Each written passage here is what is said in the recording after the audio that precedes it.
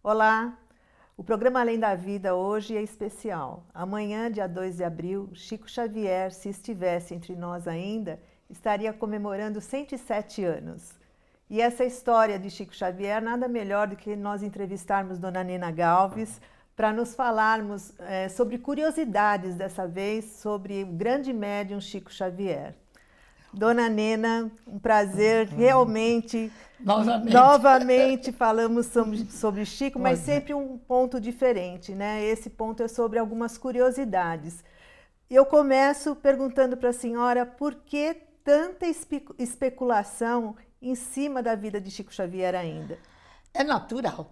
Sempre ou nas artes, ou no esporte, ou na política, quando desencarna uma figura ilustre que deu projeção, sempre há em torno da vida dele, da obra, muita especulação. E até, às vezes, com um motivo até bom para saber como fazer, como imitar.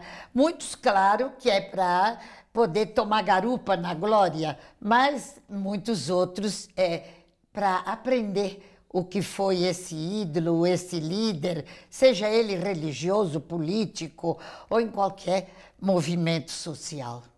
Dona Nena, já que a gente está falando de curiosidade, Chico nunca namorou, nunca se apaixonou, ele falava com a senhora sobre essas coisas do coração. Bom, Chico era um apaixonado pela natureza, pelas criaturas, pela doutrina. É, a paixão dele não se resumia a uma criatura, ele era realmente uma personalidade é, que ele até, eu achava graça que muitos se apaixonaram por ele. Eu mesmo conheci é, mulheres que se apaixonaram por ele. Ele não tinha a mínimo acanhamento de dizer que ele não havia nascido para o casamento. Então, certa vez, um episódio muito interessante, até é, é, nós ríamos muito, porque o mentor de uma dito médium chegou a ele em Uberaba e disse que o espírito havia dito que ela precisava ter um filho com Chico Xavier para nascer esse espírito. Nossa. Então o Chico responde a ela: Ah, minha filha, então você tem que procurar outro pai, porque eu não nasci para o casamento. Então, o Chico, muitos homens que é, querem, é um horror não dizer que ele é machão. O Chico não se importava com o que dissessem, ele era ele. E a senhora está tá tocando num, num, outro ponto importante também. Todo mundo diz que a alma de Chico era, alma, era uma alma feminina. E era. Ele, isso não atrapalhava ele no, na, na, vida dele? Como é que ele encarava isso? Os espíritos têm sexo masculino ou feminino? Espírito é espírito, não é? E Chico estava aqui na Terra e ele não fazia distinção de, de, eh, dizer eu sou mais feminino mais masculino. Então, é, é, é, ele era aquela criatura que tinha uma sensibilidade até para apreciar um bordado, uma pintura, era habilidoso e era só a vida não deu a ele o direito dele tocar, queria muito estudar música, música, mas não pôde pela disciplina que se lhe era imposta. Então ele tinha muitas habilidades, apreciava ver um bom balé. Fomos com ele, fomos com ele diversas vezes ao municipal apreciar um balé. Quando chegava um balé de fora, ele queria ver. Então era uma alma feminina realmente. E o que ele falava naquela época sobre a união conjugal de um mesmo sexo? Bom, há uns 30 anos, talvez até mais, um dia conversando com ele, já na madrugada, eu e ele sozinho tomando um chá, ele me falou exatamente, abordamos esse assunto, e ele me disse que o casamento sobre o mesmo sexo viria a ser oficializado no Brasil. Eu fiquei, claro, achando assim uma coisa impossível, porque há tantos anos passados, onde o preconceito era tão grande, eu não podia imaginar que isso fosse acontecer. Então, foi uma profecia realizada realmente. Muito interessante. É. E o Chico, enquanto uh, ser político, o Chico era político? Chico era politizado, muito politizado. Era uma alegria vê-lo falar sobre monarquia, democracia, hum. sobre todos os partidos, em países diversos, sobre parla uh, é, parlamentarismo. Ele era politizado.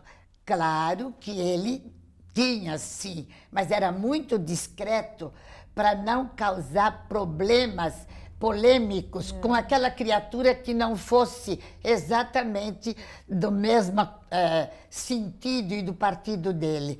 Era muito cuidadoso, mas era muito politizado e acompanhava muito a política. Acompanhava as notícias? Todas as notícias brasileiras e do exterior. Olha. Acompanhava, falava da Guerra Civil Espanhola como se estivesse lá, dos elementos todos, dos grandes vultos da Guerra Civil, falava da Bastilha, era muito politizado. Ele se interessava mesmo pelos Muito. assuntos atuais, né? Sempre. E em relação ao futuro do Brasil, o que, que ele comentava já há 30 anos, então? Bom, o Chico era muito esperançoso, era patriota e investia na esperança eh, sobre os brasileiros terem um Brasil melhor.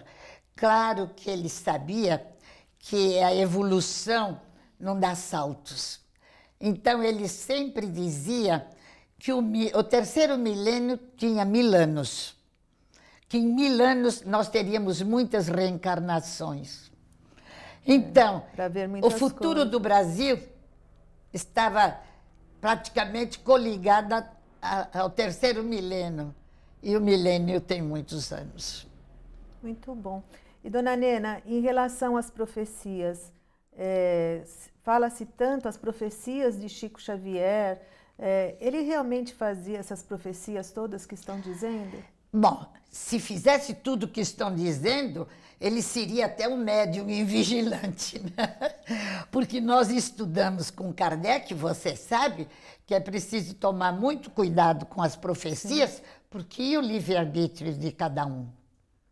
Então, Deus pode desmentir qualquer médium respeitando-se o livre-arbítrio.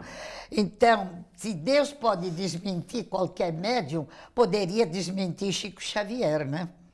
Muitas profecias que se dizem sobre o Chico... fim do mundo, que, vai terminar em tal data, como é que era isso? Não, isso eu nunca ouvi, Chico nunca falou, mesmo porque para nós não há fim, não poderia existir é, o fim, a renovação, a depuração do planeta, tudo isso ele falava. Agora, sobre fim de mundo, não. Isso, comigo, Chico nunca falou nesse sentido. Agora, muitos dizem que falaram com eles. O que me estranha, sabe, Eliana, é que se realmente essa profecia, e Chico tinha tanta certeza, por que, que Emmanuel não registrou através dele? De livros? É. Sim, de livros. Não era é, a, a doutrina espírita não está estava através do médium Chico Xavier é, todos os períodos e a, a, tudo que era programação espírita registrada pela psicografia de Chico. Isso não existe.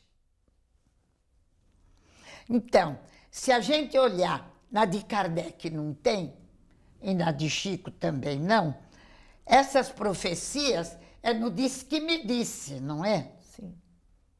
E eu só posso dizer a você que a mim ele não disse. Agora, também não posso desmentir que ele tenha tido oh. um amigo tão amigo que ele tenha dito a ele, né? Nós vamos ver, já está perto. Quanto tempo falta para a grande profecia? Um ano e pouco. Aí os que estão vivos dirão. né? É verdade. E dona Nena, o Chico ele, ele não tinha momentos de raiva, ele sempre era aquela mansuetude. O Chico ficava bravo. Como é que era o Chico no- na intimidade? Bom, eu vi Chico algumas vezes Bravo. bravo. Vi. Quando havia desrespeito da doutrina, ou numa casa espírita, ou em relação à parte doutrinária, o Chico ficava bravo, sim. Muito bravo até. Agora, com compostura, mas não era manso assim, não. E eu- é, essa, é, essa coisa que você diz, raiva, não era raiva, era assim, é, não queria que desrespeitassem aquilo que não deveria ser respeitado. Então ele tomava atitudes severas. Que deixava ele mais bravo? Isso. Isso mesmo? O desrespeito doutrinário deixava ele. Agora, se falassem da pessoa dele, ou como eu disse a você, desrespeitassem ele sobre isto ou aquilo, ele não ficava, não. Não tomava conhecimento. Personalidade forte. E na intimidade ele, ele era sempre assim educado, solícito. Como era Chico na intimidade de vocês aqui em Sempre. casa? sempre delicado. Era uma alma. Eu, às vezes, brinquei com ele dizendo que ele deveria ter aprendido a finura que ele tinha de portar-se eh, para grandes palácios. Porque Chico, ele era tranquilo, educado, não alterava a voz, ele tinha a disciplina dele sem ultrapassar as nossas. Então, era uma criatura autêntica. Num almoço, por exemplo, como é que ele se portava? Muito bem. Ele tinha assim. Comia de tudo, se servia, como é que era? É, não, eu sempre aqui em casa, era hábito da casa servir as pessoas. Eu, é, é, eu perguntava se ele gostava e ele gostava de tudo. Chico só não comia, não gostava muito de peixe. Era mineiro, naturalmente criado em Pedro Leopoldo, eh, não tinha o hábito de comer muito peixe, né? Mas assim mesmo, se na refeição houvesse peixe, ele aceitava no prato, mas eu observava que ele comia menos. Agora, do restante, qualquer coisa, carnes, frango, tudo, mas não comia com exagero. E também não comia pouco. Comia bem o Chico? Comia muito bem. Era um bom garfo na hora do almoço, na refeição do almoço. Na parte da manhã, ele tomava chá, depois o cafezinho preto e comia muito bem o bom chá e à tarde não jantava. Depois de uma certa idade, deixou de jantar. Então era um lanche reforçado e à noite, às 10 horas, outro chá com um pão de queijo, geleias. Gostava muito de doce. Olha. Era apaixonado por doces, tortas, A pudins. senhora fazia muito doce para ele? Fazia muito doce tinha os prediletos. Quais eram? Tinha um pudim que até hoje é um prato da casa e ele pedia para dar receita, para ensinar, porque era um pudim de leite que não tinha buraquinho, dizia ele. ah. E gostava muito da geleia de morango feita aqui em casa, recheava os pão de queijo com geleia de morango. Gostava muito de doce. Ah, um doce comum tradicional, o merengão, e eu fazia, ele dizia, mas esse nome não é bonito, isso devia ser fatias do céu. Ai, que lindo! Porque é um doce suave, e ele dizia que o merengão não suava bem. Era, era, o nome era até era muito rude para o Rude sabor. doce. Que legal. Então era, era realmente espirituoso e gostava muito de doce. Então, eh, a senhora está passando eh, Chico como uma pessoa normal. Meu Deus, era tão normal que às vezes eu, pelo menos, me esquecia que ele era o médium Chico Xavier. Então, não incomodava uh, a idolatria uh, do, das outras pessoas em relação a ele, porque havia um, um, um, uma idolatria por ele, né? Havia. E até hoje há, né? Como se o Chico não errasse, não tivesse, fosse é. um santificado, não pudesse ter. ter ah, nenhum... ah, os companheiros que conviveram com o Chico, que até hoje idolatram o Chico. Eu até hoje vejo o Chico tão nosso familiar, tão normal, que eu nunca pude idolatrá-lo. Agora, ele era tão sutil que quando a pessoa ultrapassava, ele desencantava a pessoa logo, logo. Ele era muito inteligente. Esperto para responder. Ah, né? ele desencantava logo. Isso... Contava algum episódio, gafe que ele tivesse feito, ah, algum entendi. erro. Para colocar Se... como Claro. Da mesma forma. Da mesma forma. Eu ria porque eu observava a maneira que ele fazia e ele desmontava logo a pessoa. ele era muito inteligente. E dona Nena, e socialmente vocês saíam com ele, iam para jantares, iam para teatro. É, como era Chico socialmente? Ele gostava dessa vida social? Ele era mais recluso? Como Chico era isso? gostava quando se dava o luxo de ter umas férias. Do contrário, ele dizia: chega, agora é, é preciso voltar ao trabalho. Olha. Era aquela disciplina. As férias eu posso é, usá-las como um, um, prazer, ir ao teatro, assistir uma revista, ver um balé, mas eu não posso fazer da minha vida isto um hábito. Então era muito bonito. Eu dizia, Chico, ai, vai, vai vir um balé assim, assim, a semana que vem fica mais uns dias. Não, Nena, não posso. Meu compromisso, já não estou mais liberado. Olha. Então, disciplina. Vocês viajavam bastante, dona Nina? Viajávamos pra muito praia, juntos. como é que eram essas viagens? Chico ia ao mar, como é que era isso? É, viajávamos para a praia, viajamos, fomos para Ilha Bela de barco também, visitar outros centros. O bonito é que sempre que Chico viajava, no lugar onde ele ia, ele arranjava um tempo para fazer algo sobre a doutrina. Então, sempre incluía a parte doutrinária. Quando, por exemplo, viajávamos para o Rio duas vezes ao ano, ele era eh, normalmente para doutrina. Então, era aquela excursão doutrinária que começava às 10 da manhã e terminava de madrugada, exaustiva. E quando ele percebia uh, socialmente todo essa, esse movimento, Uh, como que ele reagia em relação às imperfeições das pessoas? Ele ficava com muita pena, mas tomava cuidado, porque ele procurava respeitar o máximo. De, ele percebia que nós não éramos como ele. Por exemplo, aqui em casa, ele dormia muito pouco.